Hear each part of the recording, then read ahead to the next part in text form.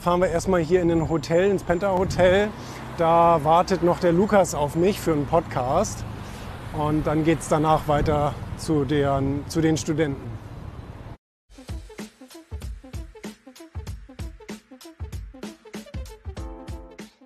So, wo ist der Lukas? Da ist der Lukas. Hier. Hast du hier schon alles aufgebaut? Ja. Soll ich da sitzen? Links. Okay. Ja.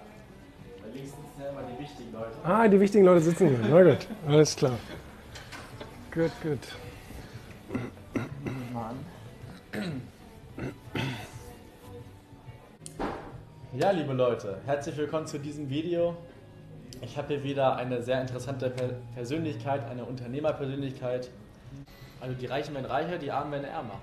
Das ist definitiv so und das bleibt auch so. Ja. Also es ist nur die Entscheidung für die Armen auch reich zu werden. Es ist nicht irgendwie die Also Idee, werden. nicht die Idee umzuverteilen und gebt ihr uns doch was ab, weil wir sind so arm oder genau. sowas, sondern es muss eigentlich umgekehrt sein. Und so ist es normalerweise im Kapitalismus auch. Kapitalismus ist die beste Form für arme Menschen, weil sie sich eben hocharbeiten können. Jeder hat die Chance, morgen da rauszugehen, auf die Straße, mit einem kleinen Körbchen irgendwas zu verkaufen oder irgendeine Dienstleistung zu erbringen, Geld zu verdienen und sich hochzuarbeiten. In einer Firma geht das genauso. Es gibt auch Putzleute, die ganz unten angefangen haben und irgendwann Chef der Putzfirma sind. Also es gibt viele tolle Beispiele. Im Kapital das funktioniert aber auch nur im Kapitalismus, im Sozialismus nicht, weil da ist alles vorgeschrieben. Da, mu- da muss alles vom Staat genehmigt werden. Ja, vielen Dank. So, dann kriegst du dein Mikro wieder. Ja.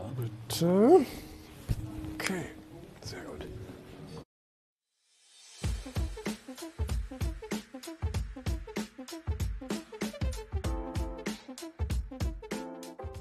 Dinosaurier begrüßen einen hier an der Universität in Braunschweig. Die haben mich angefragt von ihrer Studentenvereinigung, ob ich einen Vortrag für die halte. Und ich habe auch sofort Ja gesagt, weil ich das eigentlich immer mache. Ich habe ja selber nicht studiert, aber ähm, ich äh, rede gerne mit Studenten, weil die oftmals eben nicht wissen, was sie eigentlich wollen und wie Erfolg und Unternehmertum und so, so funktionieren kann etc. Und ich war schon an vielen Universitäten in München und in Salzgitter und ich weiß gar nicht wo überall und habe da eben zu dem Thema Vorträge gehalten und das kam in der Regel auch immer gut an, weil die eben jemanden aus der Praxis haben möchten.